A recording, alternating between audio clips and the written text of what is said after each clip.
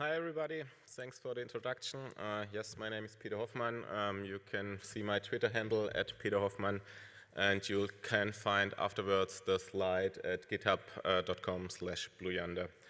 Um, before I start my talk, um, a little bit about me and about Blue Yonder. So what do I do? I'm a software developer at Blue Yonder. Um, is providing predictive analytics as a service, and I think with more than 100 data scientists, we have one of the biggest data science team uh, in Germany.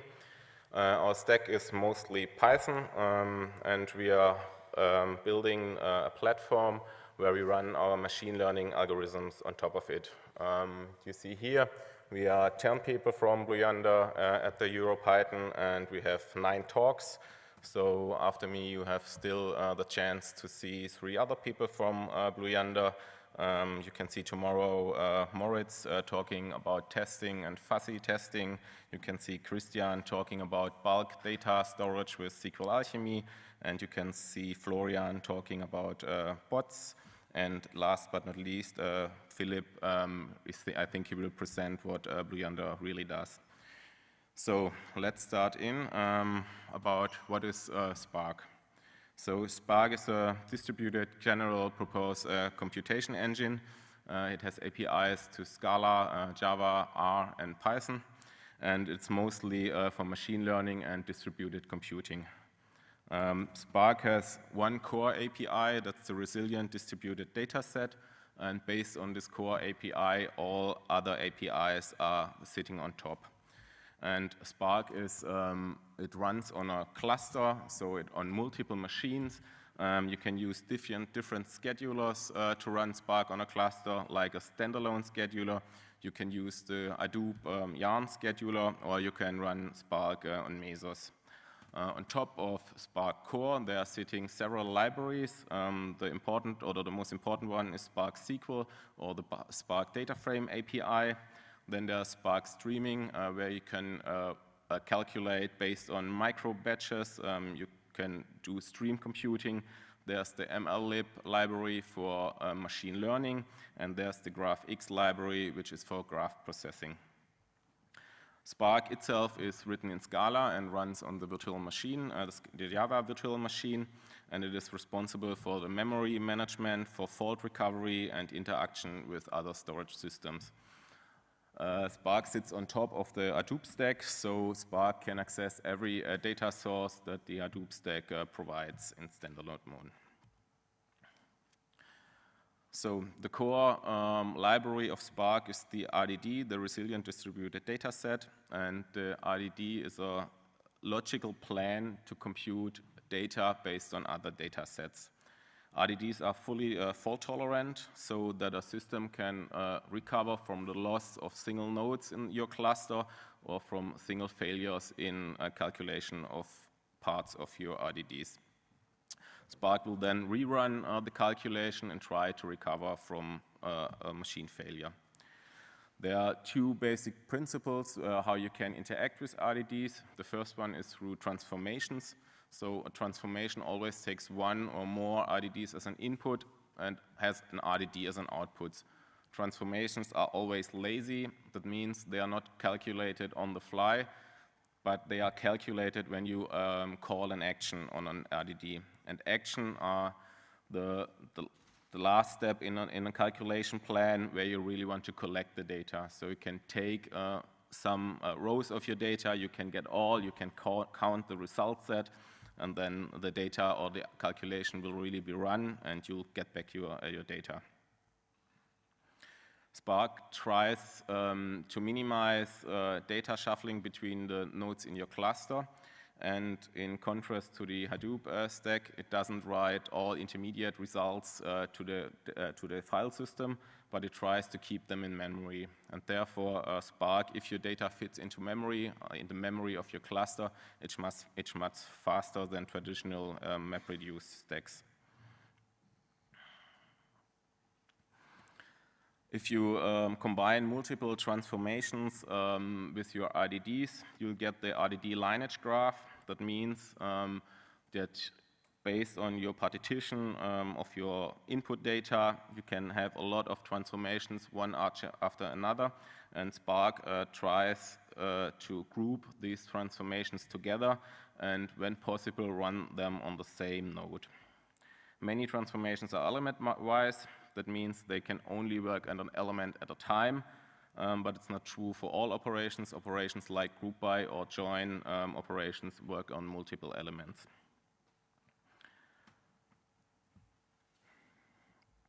And as I said earlier, um, actions are then used to get the result back and to return it to your driver program.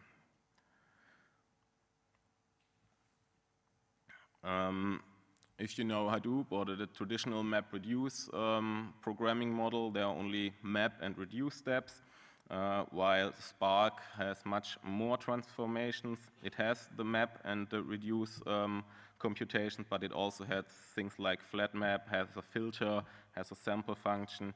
You can do unions of multiple data sets. You can do an intersection. You can uh, group uh, the data by keys. You can aggregate it by keys and you can do fully join inner, outer, and uh, right outer joins of your data sets.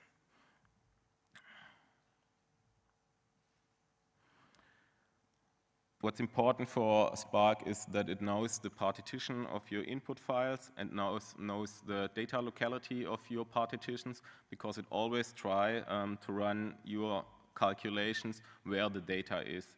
So Spark tries uh, to bring the algorithms to your data and minimize uh, shuffling data around in your clusters.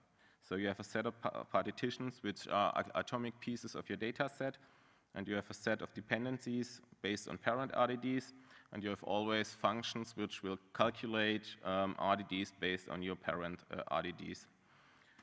Spark needs uh, to know about the metadata of uh, your data to know where your data is located to be able to do data locale um, computation. So that data shuffle, which is expensive and which will really slow down your calculations, is only done when it's necessary. As I said earlier, uh, Spark is implemented in, in, uh, in uh, Scala and runs on the Java virtual machine. So what is PySpark? Uh, PySpark is a set of bindings or APIs uh, which sits on top of the Spark programming model and which expose the programming model to your Python programs. So that's the famous word count um, example. What you do is you always start with an, with an input RDD, that's some kind of basic file system operations. Uh, here you can load a text file from an HDFS, and then you have the normal MapReduce steps where you split the lines by white space. Then you will emit um, each word with a number, and then you do a reducement where you calculate the occurrences of the words. Um, as Python is uh, dynamically typed, um, it's possible that your RDDs can hold uh, objects of different types. That's not possible in the Java uh, version, but the Scala version also has this possibility. Uh, at the moment, PySpark not supports all APIs that are supported in the Scala version. Um, for the data frame, they nearly provide everything, but um, for streaming, uh, PySpark always lags one or two versions behind the normal uh, Scala APIs. So here you see how it's done. You always have a, driver context that's on your local machine. Um, you can as I show later, you can have an IPython session or run your normal Python program. This will then connect to a Spark context, which will talk over Py4j uh, to the Java virtual machine on your host, which will then talk to the workers, and each worker will again talk to Python or to uh, JVM. It depends what kind of calculations you do.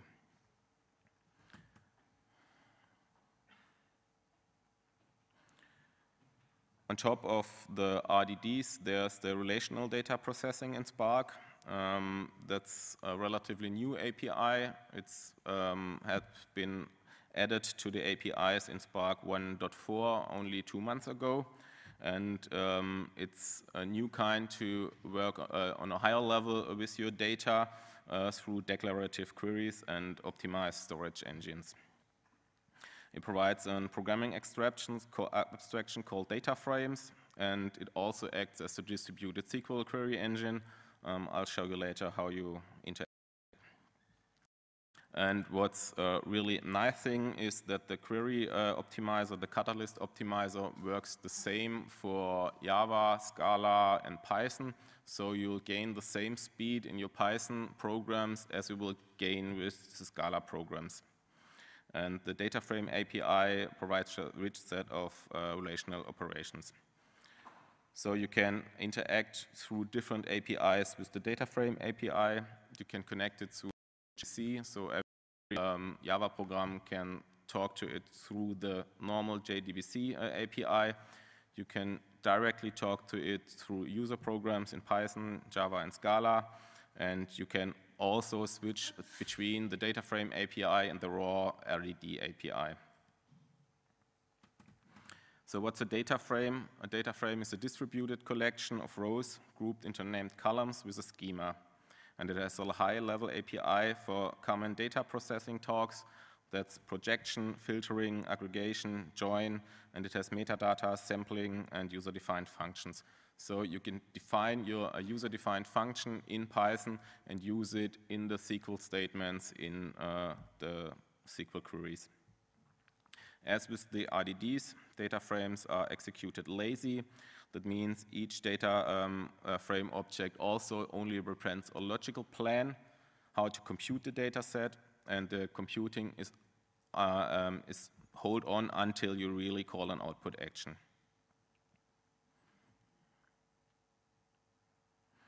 A data frame, you can see as an equivalent to a relational table in Spark SQL. And you can create it through various functions using a SQL uh, context. Um, and then once you have created it, you can um, operate it on it through a declarative domain-specific language. So here you just we just load uh, a, a, a, people's JSON file, which has some rows of, uh, of JSON. And then you can, like you um, know it from SQLAlchemy or maybe from Pandas, you can do filtering, selecting, projection, um, and get your data back. And if you compare these two statements, so the first one is in the declarative Python way, the second one is a SQL way, and they result in the same um, execution plan on or in Spark itself. So it's only declarative. If you, if you write it in Python, you'll get the same speed as the plain SQL um, one or the one you define in Scala. Uh, why is this possible? It's possible because Spark has the Catalyst uh, query optimization framework, which works for all uh, languages which use the data frame API. Um, it's implemented in Scala and uses uh, features like pattern matching and runtime metaprogramming to allow developers um, to specify complex relation, relational optimizations. And as you can see, that's from the Spark website. Um, if you work with the plain RDDs, the Python version is always lower than the Scala version. But if you sit on top of the data frame API where you only use declarative statements, then you'll get the same speed up as in Scala. So how do you talk to your data? Um, as I said before, Spark works on top of Hadoop, so you can access all the Hadoop um, file system and drivers that are available there through the data uh, source API. So you can talk to Hive tables, you can read in Avro files, CSV files, JSON files, you can read and store the data in the Parquet columnar format, and you can also connect to normal JDBC databases.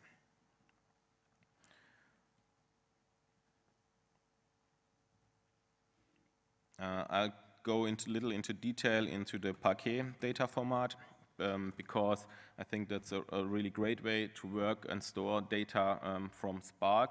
So Parquet is a columnar format uh, that's supported by many data processing systems, and you can store uh, the Parquet data format in chunks into an Hadoop HDFS file system. Um, Parquet automatically preserves the schema of the original data, and as you can see here, if you have a table with three columns, the normal row-oriented storage is that you write each row after row, And the column-oriented storage is that you um, save your data in column order, and it had, uh, had several advantages. The first one is normally in one column there's similar data, so compression works much better if you block and code um, column-wise data. And then if you have uh, data with many columns and you don't want to access all columns every time, it's much faster access to just um, access some columns at a time. The data frame API is able to do uh, prediction and projection pushdown. That means if your underlying storage um, is able to uh, work with vertical partitioning or horizontal partitioning, the Spark data frame API can push down the predicate to your storage engine and don't have has to read all the data into Spark, but let the storage engine uh, do the hard work. So you can see here vertical uh, partitioning, that means you only want to have the column B, and maybe you have um, some predicates on some rows, so you will see, uh, say, okay, I only want the, the rows where A is A2 and C is in C4 and 5, so you can split this up and only will read the result into Spark to, for further processing. The data frame API uh, not only supports tabular data, um, uh, it has basic types like numeric types, string types, and byte types, but it also supply, um, provides support for complex types and nested types, so you can build, build tree-like data and access tree-like data from the data frame API. You always have to provide a schema or the data has a schema there are two ways to get the schema into your data frame. The first one is um, to do um, schema inference. Um, this works with typed input data like Avro, Parquet, or JSON files, or with a normal example with dict files where it can guess um, the data types for your data frame. Or um, you can specify the, the, the, schema by yourself. So here we want to read in a normal CSV file and we define a struct type with several fields, and we add to the fields um, the type of the field.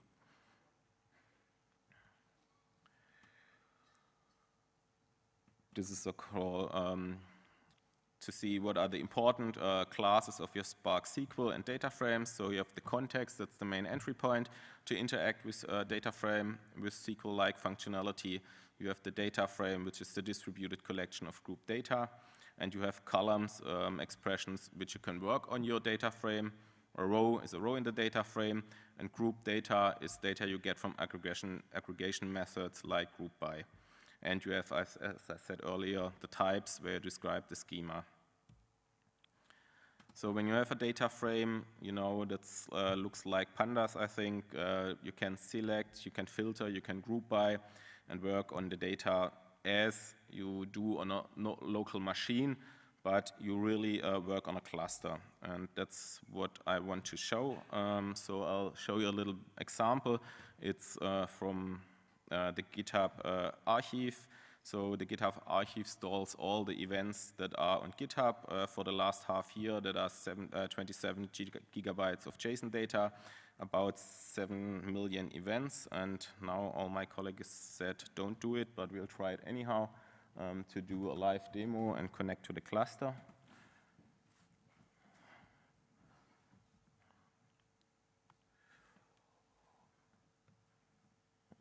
It, so it's a little bit too small, but I think we'll get it. And uh, also, uh, Oh, this will not work. So I also wanted to show you the cluster, but this will not work at all. So I'll try to only uh, go through the programming statements.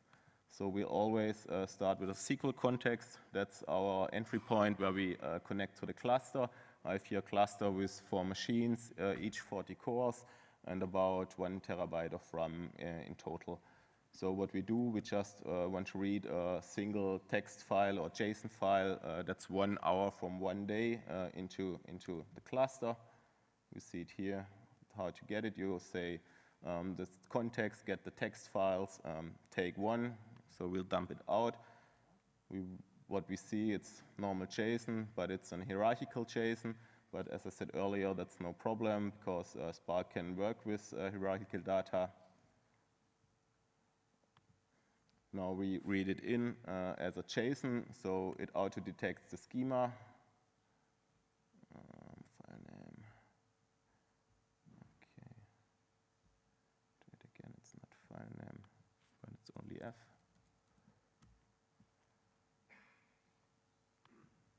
So now we read in the data and Spark auto-detects the schema. So what we see for each e event, we have um, an, an, actor, that's the, the person who committed um, to, the, uh, to, the, to, to, GitHub.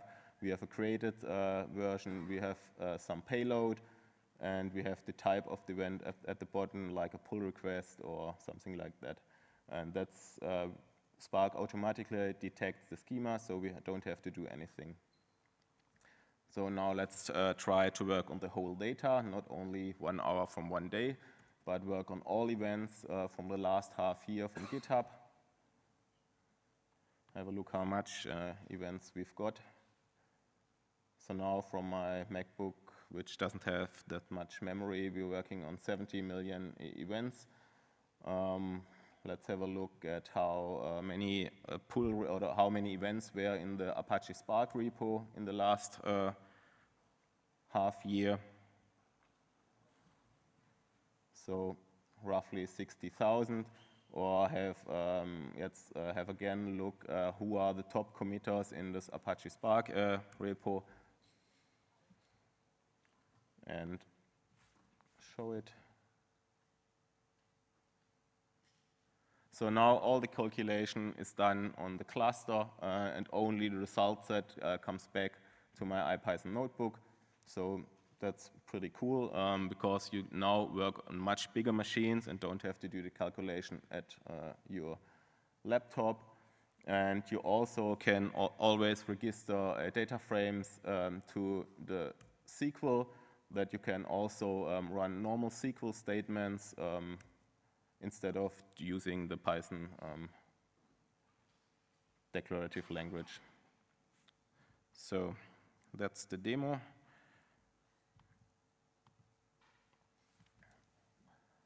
Then a little summary, what's, what's Spark? So Spark is the distributed general purpose cluster computation engine, and PySpark uh, is an API to it.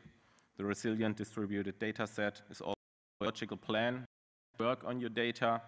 Data frames are high-level abstract, abstraction um, that are a collection of rows grouped into named columns with a schema. And the data frame API allows you to manipulate data frames through a declarative domain language. So thanks for your attention and any questions.